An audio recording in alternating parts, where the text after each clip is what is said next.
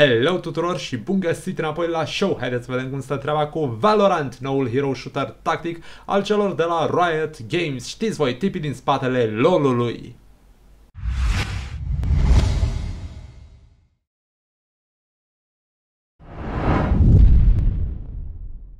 În esență, Valorant este un hibrid între Counter-Strike și Overwatch. Ai personaje cu abilități similare eroilor din Overwatch sau din Paladins, dar se joacă ca CSGO. De fapt, toate cele trei hărți disponibile, deși au tematici vizuale și layout-uri diferite, au același obiectiv. Plasează bomba, numită în cazul de față Spike, sau dezamorsează Spike-ul. Vă sună cunoscut?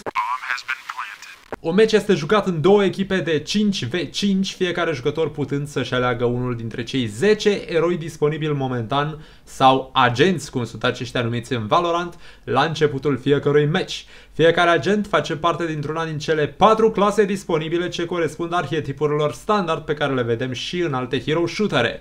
Tank, support, assassin și healer. Un agent nu poate fi ales decât de un singur jucător per echipă, iar odată meciul început, jucătorii nu pot opta să-și schimbe eroii pe toată durata acestuia. Un meci este compus din două etape în care cele două echipe își asumă pe rând rolul de atacatori sau de apărători.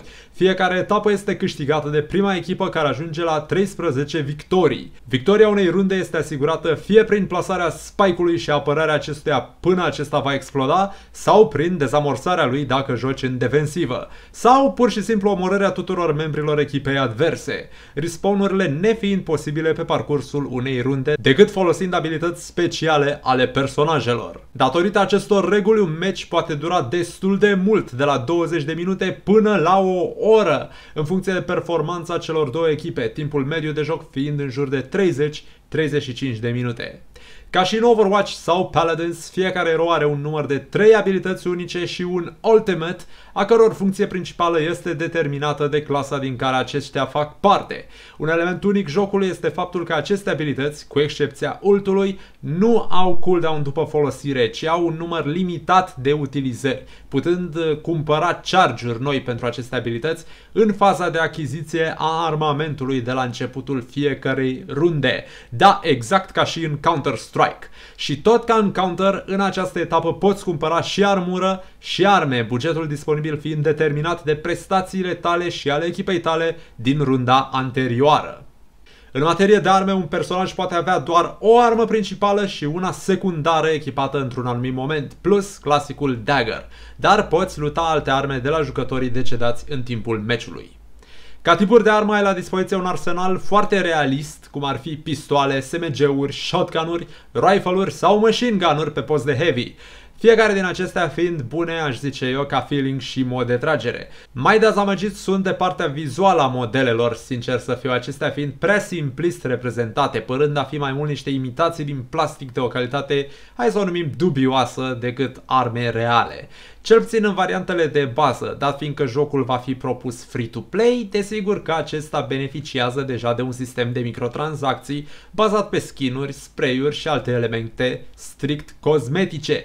Nu vă îngrijorați, nu am văzut nimic ce seamănă a pay to win și mă bucur să vă zic că nu am văzut nici loot chesturi. Că tot vorbim de grafică, atât personajele cât și hărțile sunt foarte frumos reprezentate din punct de vedere grafic, într-un stil cartoony, să-i spunem, mai mult decât asemănător celui din Overwatch, hai să zicem așa. Grafica este destul de simplă, iar optimizarea este, pot spune, excelent făcută, astfel încât cei de la Riot au promis că acest joc va rula și pe un cartof prăjit și nu știu de alte calculatoare, dar cel puțin pe calculatorul meu rulează absolut excelent, iar eu în momentul ăsta nu mai am ultimul răgnet în materie de PC-uri. Deci puteți avea încredere că cel mai probabil acest joc vă va funcționa. Layoutul hărților este destul de ușor de învățat și de navigat, acestea având de la 2 la 3 puncte de plasare a bombei plus culoarele de conectare a acestora. Jocul este clar destinat scenei competitive e-sports, personajele fiind balansate în jurul ideii de muncă de echipă atent planificată. Poate chiar mai mult decât în Counter-Strike, dat fiind natura complementară a abilităților eroilor. Nu numai asta, dar anumite abilități sunt gândite special să funcționeze în contextul scopului jocului, mai mult decât poți vedea în Paladin sau Overwatch. De asta, acest joc este surprinzător de tactic ca gameplay, asemănându-se cu Counter în sensul că unde Overwatch sau Paladins poți face gălăgie și Twitch shooting liniștit, în Valorant strategia este să pândești în ambuscade și să nu te audă, bineînțeles, oponenții venind, exact ca și în Counter. Asta înseamnă că jucătorilor de counter le va fi mult mai comod să se adapteze gameplay-ului din Valorant decât cineva venind din Overwatch, aceștia din urmă putând chiar fi dezamăgiți de acest joc dacă vin cu idei preconcepute. Actualmente Valorant se află în stadiul de closed beta, dar jocul va fi disponibil gratuit de jucat odată ce va fi lansat. Dacă totuși doriți să aveți o șansă să obțineți acces în beta, Devi au o campanie de promovare foarte agresivă în acest moment pe Twitch. Oricine poate câștiga accesul în beta atâta timp cât îți sincronizezi contul de Twitch cu Riot Games și te uiți la streamuri live din Valorant.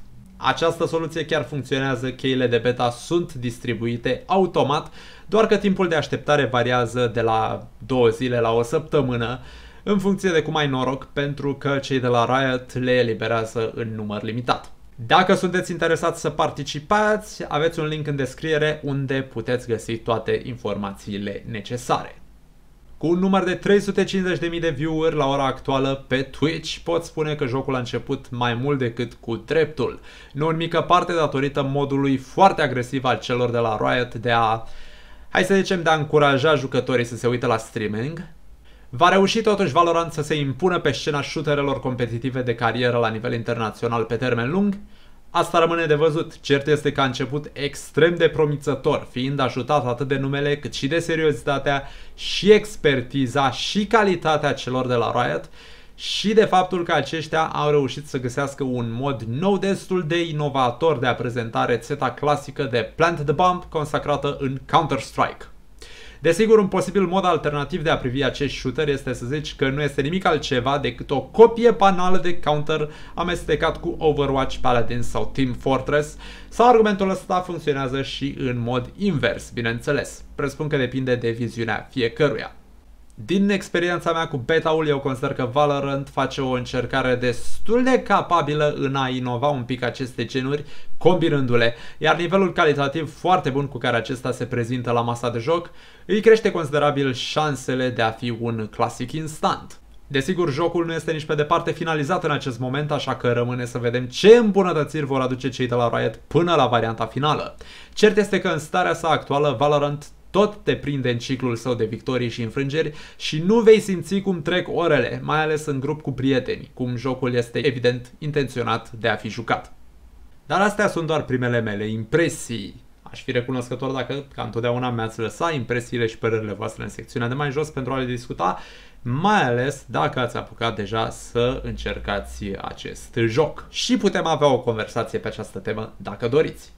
Vă mulțumesc mult pentru vizionare, ca întotdeauna dacă acest video vi s-a părut informativ și util, nu uitați să lăsați un like și să vă abonați dacă n-ați făcut-o deja pentru a fi la curent cu cele mai recente videouri ale acestui canal din Valorant și nu numai. Până data viitoare vă doresc fraguri ca în MLG și numai bine. Bye bye!